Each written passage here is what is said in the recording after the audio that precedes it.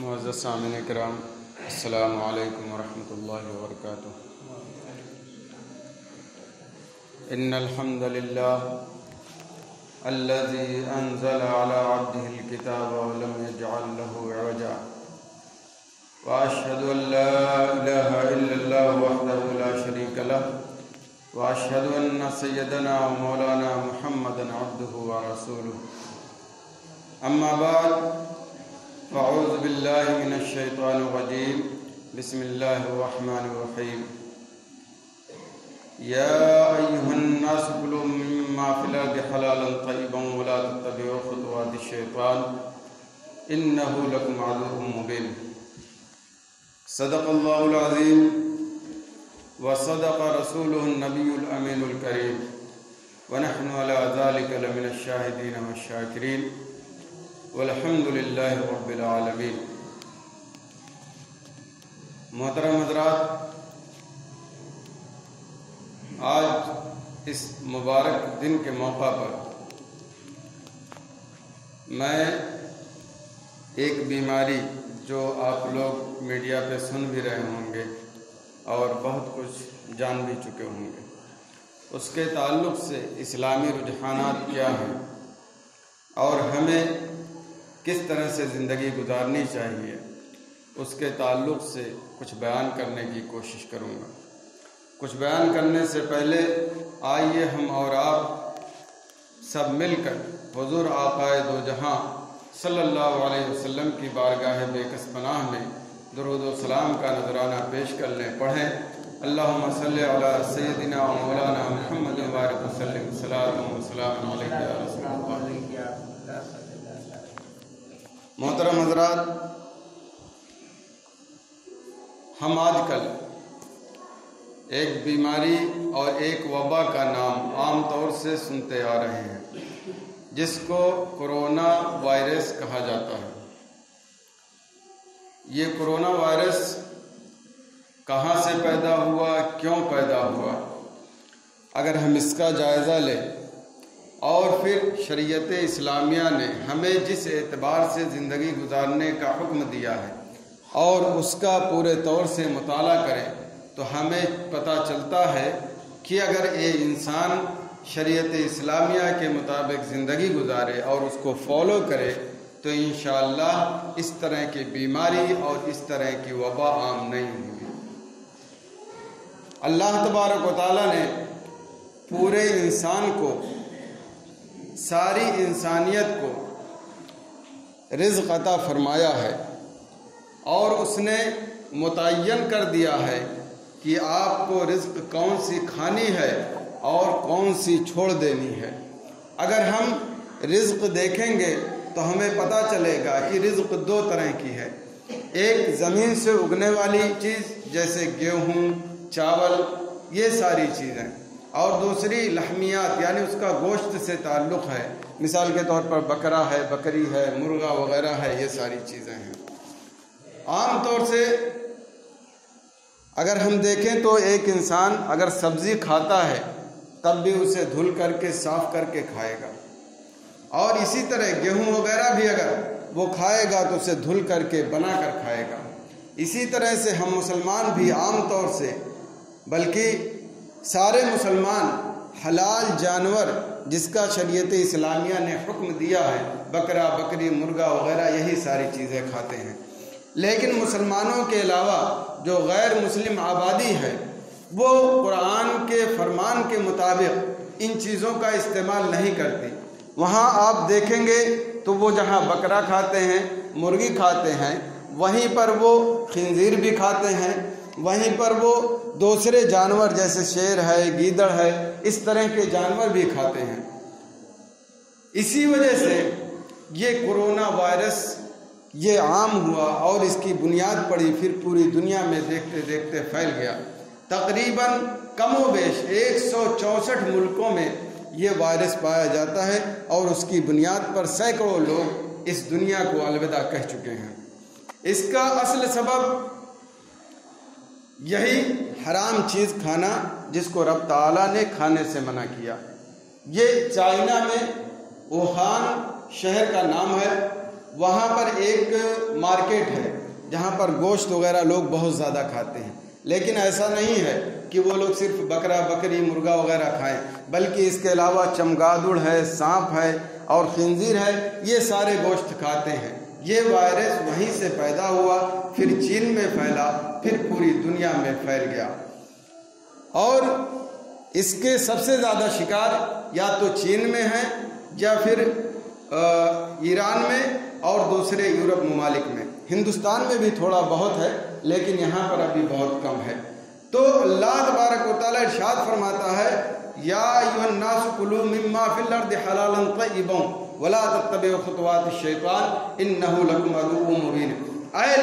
सिर्फ़ मुसलमान नहीं, आम तौर से कामन सभी लोग मुखातब हैं। अय लोगो, अल्लाह तबारक ने जो तुम्हें पाक रिज्क हलाल रिज्क दी है, उसे खाओ और हराम चीज़ खा करके शैतान की इत्तबा ना करो, क्योंकि शैतान तुम्हारा बहुत बड़ा दुश्मन है। अल्लाह तबारक ताली ने इस आयत करीमा में पूरी इंसानियत को ये पैगाम देना चाहा है कि आए इंसानों, तुम लोग अगर खाना चाहते हो तो रिज्क हलाल खाओ। और जिस चीज़ से कुरान ने या हजूर नबी करीम सल्लल्लाहु अलैहि वसल्लम ने मना कर दिया है, उस चीज़ से बाज आ जाओ, क्योंकि शैतान शैतान तुम्हारे अंदर बिल्कुल खून जैसे जारी होता है, उस तरह दौड़ता रहता है। ऐसा हो सकता है, तुम्हें गुमराह कर दे, तुम्हें गलत तरीके पर ले जाए और उसकी बुनियाद पर तुम्हें नुकसान उठाना पड़े। दूसरी हदीस शरीफ में, एक हदीस शरीफ में हजूर नबी करीम सल्लल्लाहु अलैहि वसल्लम ने ये मना फरमाया है कि जो नोकीले दांत वाले होते हैं, दरिंदे, और जो पंजे से शिकार करते हैं परिंदे उनको खाने से मना फरमाया है। अगर इस हदीस को भी हम सामने रखें और इसके मुताबिक पूरी दुनिया अमल करे तो इन इस तरह की बीमारियों से, इस तरह के वबा से आम तौर से लोग महफूज रहेंगे और उस तरह की उन्हें इन परेशानी लायक नहीं होगी। तहकीक़ात भी बताती हैं कि खंजीर के बहुत बुरे असरात हैं। इसी तरह सांप के और चमगादड़ वगैरह के भी बहुत बुरे असरात हैं। तो अगर कुरान हदीस के मुताबिक पूरी दुनिया अमल करे तो हमें पूरी उम्मीद है कि पूरे कौम इंसानियत इस वबा से, इस तरह की बीमारी से महफूज रखेगी। लेकिन आप ये बात नोट कर लें कि मुस्लिम तो कुरान हदीस की इतबा करते हैं, उस पर अमल करने की कोशिश करते हैं। लेकिन जो गैर मुस्लिम हैं, आम तौर से उन्हें इनकी सारी मजर्रात, सारी खराबियाँ मालूम होती हैं। लेकिन सिर्फ़ इस्लाम दुश्मनी के बिना पर वो इन चीज़ों को खाने की कोशिश करते हैं और उसको रवाज देने की भी कोशिश करते हैं, जिसके बिना पर आज ये बीमारी हमारे पूरी इंसानियत को तबाह बर्बादी के दहाने पर ले जाने की कोशिश कर रही है।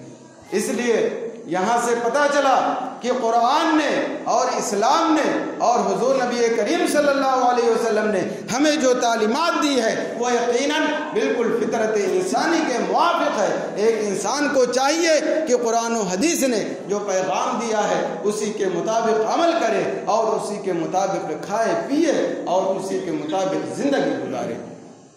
आप नॉर्मल देख लें, एक आदमी की तबीयत है अगर वो अच्छा खाना खाएगा तो उसकी सेहत सही रहेगी।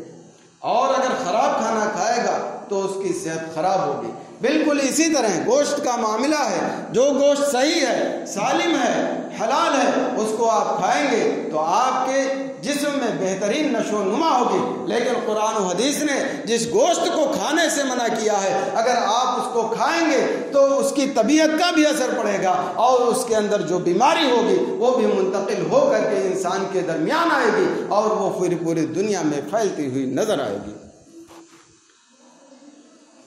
एक बात और है, वो ये कि बहुत सारी जगहों पे देखा गया कि मस्जिदें बंद कर दी गई। आप लोग पढ़ ही रहे होंगे अखबार वगैरह। बहुत सारी जगहों पर बाजमात नमाज़ पढ़ने से रोक दिया गया। कुरान और हदीस या हमारा इस्लाम इसके बारे में क्या कहता है? यकीनन, अगर कोई ऐसा आदमी बीमार हो गया, जिसके अंदर कोई बीमारी पाई जाती है, और उसकी वजह से लोगों को तनफुर होता है, यानी उसे नापसंद करते हैं कि उसके करीब बैठें या उठें तो ऐसी सूरत में, ऐसे आदमी को मस्जिद में आने से रोका जा सकता है। लेकिन अगर किसी इंसान को कोई बीमारी ना हो, कोई परेशानी ना हो, कोई वबा लायक ना हो, सिर्फ़ एक अंदेशे की बुनियाद पर, एक फ़िक्र की बुनियाद पर हम ये इकदाम करें कि मस्जिद में जमात बंद कर दें, मस्जिद का दरवाज़ा बंद कर दें तो ये इस्लाम न इसकी इजाज़त देता है और ना ही कभी इसको वो कानूनी तौर पर इसका एतबार करता है। लिहाजा जिस जिन लोगों ने भी ये इकदाम किया, उन्होंने गलत किया। यकीनन इस्लाम इस बात की इजाज़त देता है कि अगर कोई बीमार हो, मिसाल के तौर पर जजाम, जो बर्स जिसको कहते हैं हम लोग, अगर उसकी बीमारी है तो आम लोग आम तौर लोगों से उससे तनफुर होता है। आम तौर से लोग उसके पास बैठना नहीं चाहते हैं। तो उसको अगर बीमारी हो गई, और वो भी बहुत ज़्यादा हो गई है तब, उसको मस्जिद से रोका जाएगा। लेकिन जिस बीमारी का कोई लता पता ही नहीं है किसी इंसान के अंदर, उसके बावजूद उन लोगों को रोक देना, या मस्जिद बंद कर देना, या बाजमात नमाज़ ना पढ़ना, ये बिल्कुल गलत है और ये दुरुस्त है ही नहीं। इसलिए चुनाचे हदीस में है, हजूर नबी करीम सल्लल्लाहु फरमाते हैं फिर मिनल मजूम फ़िरार का मिनल असद। यानी जिसको बरस की बीमारी हो गई हो, उससे ऐसे ही दूर भागो जैसे कि तुम शेर से दूर भागते हो। यहाँ पर दो चीज़ें आप नोट कर लें। यहाँ पर हजूर नबी करीम सल्लल्लाहु अलैहि ने जिसको बरस की बीमारी हो, उससे दूर भागने का हुक्म दिया है। ये हुक्म सिर्फ़ उस शख्स के लिए है जो अगर उसके पास बैठे और बैठने के बाद उसके जहन में ये बात आए कि इसके पास बैठा तभी मुझे बीमारी हुई। इसके पास बैठा तभी मुझे बीमारी हुई और अगर मैं इसके पास नहीं बैठता तो मुझे बीमारी नहीं होती। या ये सोचे कि ये बीमारी उड़कर मुझको लग गई। तो इस तरह के अगर ख्यालात किसी के जहन में आने वाले हैं तो उससे कतन इजाज़त नहीं है कि उस शख्स के पास बैठे, क्योंकि ऐसी सूरत में उसके अकीदे में फसाद लाजिम आएगा। क्योंकि हदीस शरीफ में है, ला अदवा वला तयरा, यानी कोई बीमारी उड़कर नहीं लगती। और ना ही बदशगुनी की इस्लाम में कोई गुंजाइश है। इस हदीस में हजूर नबी करीम सल्लल्लाहु अलैहि वसल्लम ने बिल्कुल वाजे कर दिया कि कोई बीमारी किसी को उड़ कर नहीं लगती है। किसी तरह से इस तरह का सबब नहीं पैदा होता है। तो एक इंसान को, जिसको इस इस तरह का अकीदा रखने की उम्मीद है, किसी बीमार के पास बैठने की वजह से तो उसे चाहिए कि उस बीमार आदमी के पास ना बैठे। लेकिन अगर कोई ऐसा शख्स है जिसको बिल्कुल इतमान है कि रब ताला चाहेगा, तभी मुझे बीमारी होगी। और रब ताला नहीं चाहेगा तो कतन बीमारी नहीं होगी। अगर इस तरह का कोई अकीदा रखता है, बिल्कुल पुख्ता है, और उसे शक व शुबात नहीं है तो वो आदमी किसी के साथ भी बैठ सकता है, और उसमें कोई इन खराबी भी नहीं होगी। और मैं यकीन के साथ कहता हूँ, जिस मुसलमान का अकीदा इतना पुख्ता होगा, वो किसी भी बीमार के पास बैठ जाए इन उसे वो बीमारी कभी लगी नहीं सकती। चुनानचे हजूर नबी करीम वसल्लम एक ऐसे शख्स के साथ जिससे पूरी दुनिया दूर भागती है, एक ही बर्तन में बैठकर उसके साथ खाना खाए, जिसको हम वर्ष की बीमारी कहते हैं। तो हजूर नबी करीम वसल्लम ने अपने अमल से ये बताया कि अगर ईमान बिल्कुल पुख्ता हो और किसी तरह के गलत अकीदा या फासिद अकीदा जहन में आने की गुंजाइश ना हो तो वो शख्स किसी के साथ भी खा सकता है, उठ सकता है, बैठ सकता है। लेकिन अगर उसके अकीदे में कोई शक शुभा या थोड़ा कमज़ोरी हो या थोड़ा लचक हो तो उसे भागना चाहिए ताकि उसके अकीदे में कोई ख़राबी पैदा ना हो, कोई कमी पैदा ना हो। तो आए मुसलमानों, मैं बताना ये चाहता हूँ कि आपको और हमें अपने जहन में ये बात बैठा लेनी चाहिए कि रब ताला ही हर चीज़ का पैदा करने वाला है। हर चीज़ का मालिक व मुख्तार वही है। वो ज़ात जब चाहेगी, जिस वक्त चाहेगी, तभी कोई बीमारी होगी, वरना कोई बीमारी हमें लग नहीं सकती है। चुनानचे जब सहाबी रसूल ने अर्ज़ किया कि जब हजूर सल्लल्लाहु वसल्लम ने यह फरमाया कि बीमारी उड़कर नहीं लगती तो एक सहाबी ने अर्ज़ किया कि क्या वजह है कि जो बीमार ऊँट होते हैं, उनको सही ऊँट के पास ले जाओ तो वो सही ऊँट भी बीमार हो जाते हैं। तो हजूर नबी करीम सल्लल्लाहु अलैहि वसल्लम ने फरमाया कि पहले ऊँट को बीमारी किसने दी? इस सवाल से हजूर नबी करीम सल्लल्लाहु अलैहि वसल्लम ने हमें ये बताना चाहा कि जिस तरह से पहले ऊँट को बीमारी हुई, उससे पहले कोई ऊँट बीमार नहीं था, उसे किसने बीमार किया? उसे अल्लाह तबारक ताला ने बीमारी दी। तो इसी तरह से पहले ऊँट तरह से अल्लाह तबारक ताला ने बीमारी दी, इसी तरह से दूसरे ऊँटों को भी बीमारी दे दी। बताना यह था कि कोई बीमारी उड़कर नहीं लगती है, बस रब ताला जिसको चाहेगा, उसे सेहत सलाम की अदा फरमाएगा, और जिसे चाहेगा उसे बीमार कर देगा, और जिसे चाहेगा उसकी तबीयत खराब हो जाएगी। आज हमें और आपको अल्लाह तबारक ताला पर कामिल एतमाद करने की ज़रूरत है, क्योंकि अगर हम उस पर एतमाद कर लें तो वो हमारे लिए काफ़ी होगा। फिर हमें किसी चीज़ का टेंशन नहीं होगा, ना कि दुनिया में ही और ना ही इन आखिरत में। क्योंकि अल्लाह तबारक वाली खुद इर्शाद फरमाता है ओमन तवक्ल हसबू जिसने अल्लाह तबारक ताली पर कामिल अतमाद कर लिया तो वो शख्स के लिए काफ़ी है। तो रब ताला जब उसके लिए काफ़ी है, जिसने पूरी दुनिया को पैदा किया है तो इन जिसने अपने रब ताला पर कामिल अतमाद किया है, रब ताला उस बंदे को ज़ाय नहीं होने देगा, उस बंदे को तबाह नहीं होने देगा, उस बंदे को ख़राब नहीं होने देगा। तो अः मुसलमानों, आज हमें इस बात की सख्त ज़रूरत है कि हम पूरे दौर से अपने रब ताला पर एतमाद करें और उसी एतबार से ज़िंदगी गुजारें। आज कोरोना वायरस की वजह से हम दुनिया भर की एहतियातें करते हैं। कोई कुछ कह रहा है कोई कुछ कह रहा। है एहतियात करना कोई बुरी बात नहीं। है हजूर नबी करीम वसल्लम ने हमें इसकी तरबियत दी। आज कह, हुकूमत ये कह रही है कि कुछ देर बाद हाथ धुलें। हम तो अगर नमाज़ पढ़ते हैं तो पाँचों वक्त हाथ धुलते हैं। खाना खाते हैं, अगर सुन्नत पर अमल करते हैं तो कम से कम तीन टाइम हाथ धुलते हैं। और अगर इस्तिंजा करते हैं, छोटा या बड़ा, और सुन्नत पर अमल करते हैं तो इस्तिंजा करने के बाद भी हाथ धोते हैं। तो इस्लाम ने जो नज़ाफत का निज़ाम दिया है, अगर हम उसको पूरे तौर से फॉलो करें तो आज की हुकूमत जो बात कह रही है, या जो कहना चाह रही है, यकीनन वो बिल्कुल इस्लाम के मुआफ़ है। तो सैकड़ों साल पहले हजूर नबी करीम सल्लल्लाहु अलैहि वसल्लम ने हमें ये सारे निज़ाम और हमें ये सारी तरबियत दे दी है। बस शर्त यह है, ज़रूरत इस बात की है कि हम मुसलमान सुन्नत नबी के मुताबिक अमल करें, उसके मुताबिक ज़िंदगी गुजारें। कुरान ने जो हमें पैगाम दिया है, हम उसके मुताबिक ज़िंदगी गुजारने की कोशिश करें। और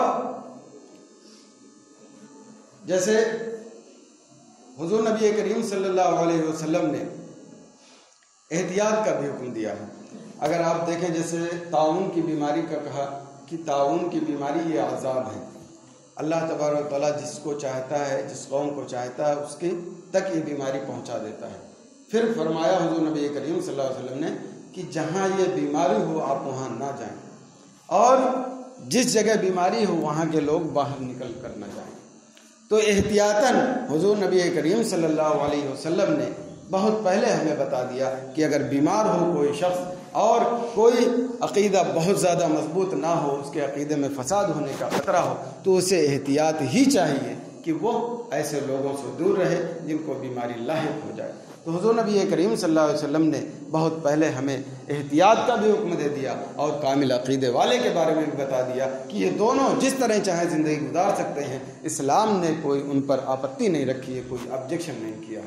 इसके अलावा, जहाँ इस तरह की बीमारी हो, आप मास्क भी लगा सकते हैं और दूसरे एहतियात भी कर सकते हैं और करना ही चाहिए। क्योंकि आवाम आम तौर से इतना ज़्यादा पुख्ता अकीदा नहीं रखती है। उन्हें चाहिए कि वो एहतियात रखें, ताकि उनमें किसी तरह की, इस तरह की बात ना पैदा हो, जिसकी वजह से उनके अकीदे में कोई ख़राबी पैदा हो सके।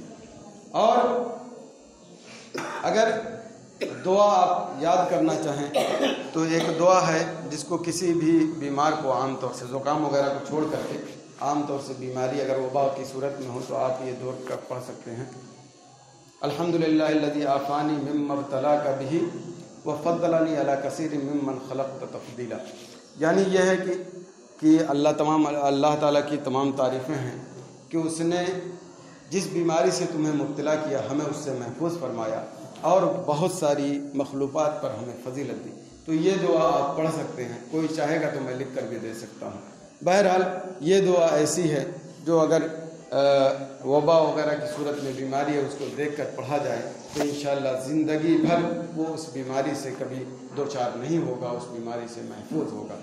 तो बहरहाल, कहना यह है कि आप एहतियात भी करें और कुरान और सुन्नत के मुताबिक अमल करने की कोशिश करें, दुआ का इंतज़ाम करें, और मस्जिद के दरवाजे बंद करने के बजाय आप मस्जिद का दरवाज़ा खोलें, मस्जिद में आएँ, इबादत करें, रियाजत करें और अपने गुनाहों की तौबा करें, माफ़ी मांगें। क्योंकि जब कोई परेशानी लाहिक होती थी, हजूर नबी करीम सल्लल्लाहु अलैहि वसल्लम को तो वो मस्जिद से दूर नहीं भागते थे, बल्कि मस्जिद ही की तरफ़ आते थे। वो नमाज़ से दूर नहीं भागते थे, बल्कि नमाज़ ही की तरफ़ आते थे और अपने रब से दुआ करते थे और अल्लाह तबारक ताली उनकी दुआ कबूल फरमाता था। तो मैं ये कहना चाहता हूँ कि आपकी किसी दूरी में किसी तरह की परेशानी हो, ख्वाह छोटी हो, ख्वाह बड़ी हो, ख्वाह समाजी हो, ख्वाह मुल्की हो किसी तरह की कोई दिक्कत हो तो आप नमाज़ पढ़ करके उसको हल करें और दुनियावी इसबाब जो हैं, दवा वगैरह इस्तेमाल भी करें, दोनों चीज़ इस्तेमाल करें। इन अल्लाह तबारक ताली आपको दुनिया भी महफूज रखेगा और आखिरत में भी अल्लाह तबारक ताली आपको बुलंद मरतबाता फरमाएगा।